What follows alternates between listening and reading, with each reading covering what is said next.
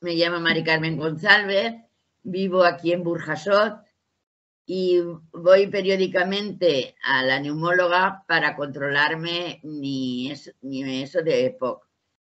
En una de las veces que fui, la doctora tenía allí una propaganda de, la farmacia que hacían unas pruebas para ver cómo, cómo estaba la enfermedad y para ayudar a, a mejorar.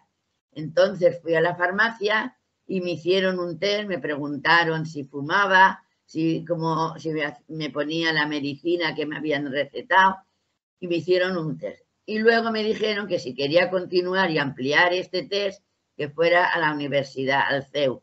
Y allí me hicieron, pues me hicieron espirometría, me hicieron fuerza con la mano derecha, ver cómo tenía la fuerza en la izquierda, las piernas, y luego también me hicieron andar mm, alrededor de un pasillo para ver cuánto aguantaba y cómo iba la respiración.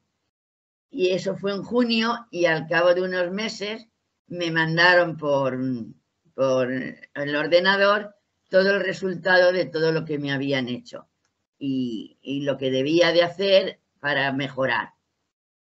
Personas que tienen el problema como yo les diría que lo hicieran porque en total no cuesta nada, es muy fácil y por lo menos te ayudan y te dicen lo que tienes que hacer, lo que no, y sí lo recomendaría.